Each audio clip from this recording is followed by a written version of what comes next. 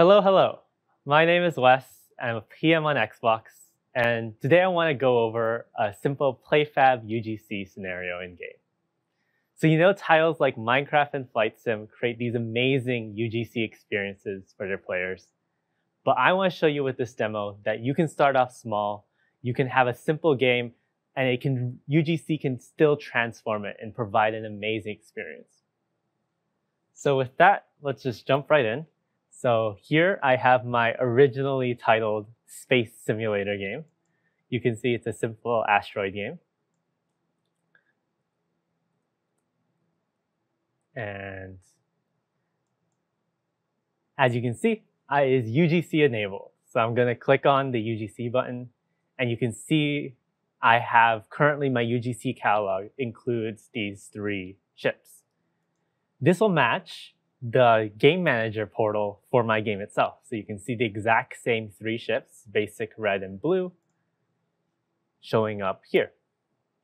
From there, I can create UGC, and you can see I can edit my existing. So this particular account created the red and white ship you saw in the previous screen, or you can go into the basic ship bundle. I'll create a quick thumbnail, and I can add a title white ship. White. And you can see I can add all of these different features and create a draft item. This is especially important because right now this is a very simple UGC scenario, but being able to create and save these drafts means that your UGC can become really complicated and really match all these different sort of experiences.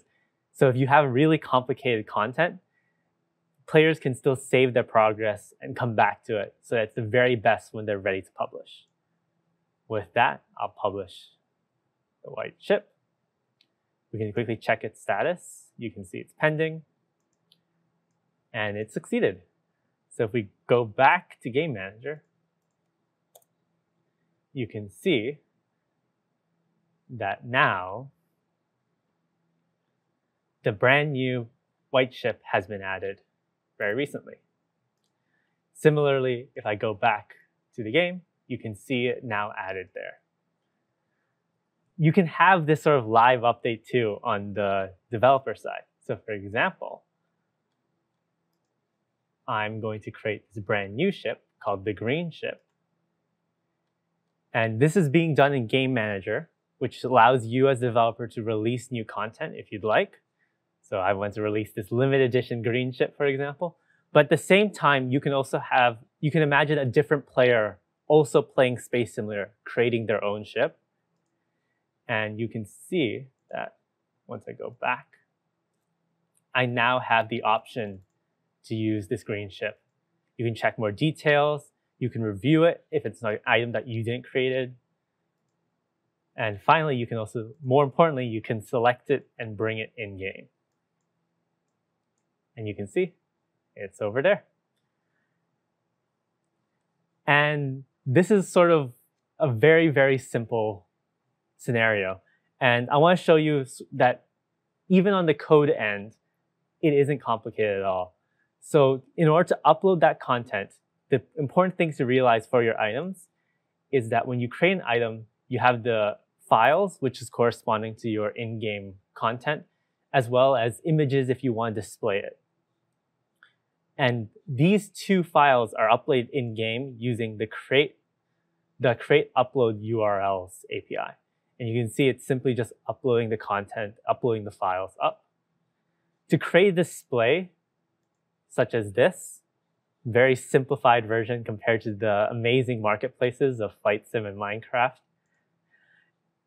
it's simply just using the search API. So you can see here, you can have all these different options and all different requests. In my case, I just use count. But this is where you can apply filters, you can change the sorting, you can have allow free text search. But at a baseline, all you need is just simply call the search API. It'll return that list of items.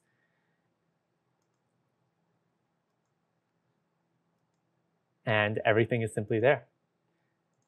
Once you have all of that, all you need to do afterwards is just simply render out all the game components for each item. So as you can see, it doesn't take a lot to sort of add UGC to your game.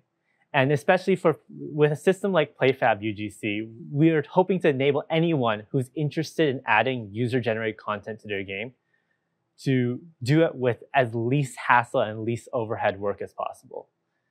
So hopefully this shows you that yes, user-generated content can be these ever-growing, insane game marketplaces, but they can also be as simple as just adding these small little tweaks. And you can see how it can transform a simple game such as Space Simulator into having so much more interaction and such a larger community impact. And that's it for my demo. Thank you for listening.